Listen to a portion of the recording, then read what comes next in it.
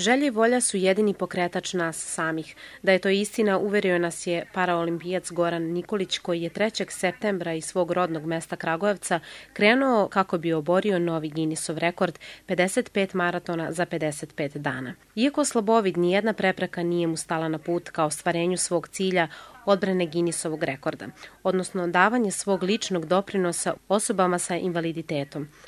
Eto, najviše što mogu dam neki lični doprinos da na ovakav transparentan način dođem do svih gradova, do svojih prijatelja, do institucija i da se obratim javnosti da podrže e, onaj deo opremanja e, ustanove koji se odnosi na kupovinu sportske opreme i rekvizita za kolektivne paraolimpijske sportove. Pored velikog izazova akcija ima humanitarni karakter u saradnji Rotari kluba iz cele Srbije.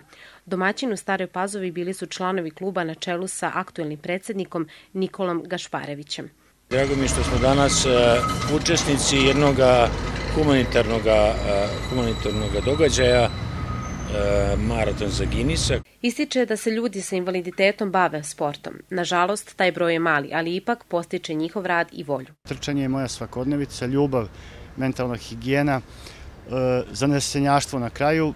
Danas sam trčao s velikim zadovoljstvom prvi put preko Pupinovog mosta, obišao sam nove saobraćajnice, Pro, protrčao sam kroz Zemun u kome je e, jedina škola na Balkanu za, na, u Srbiji za slepe i slabovide. Nijedna prepreka nije mu stala na put u ostvarenju svog cilja. Goran je slabovid i na jedno oko vidi samo 5%, ali nije se odrekao ničega, jer kako kaže, samo lepe misli mogu da učine pravo zadovoljstvo.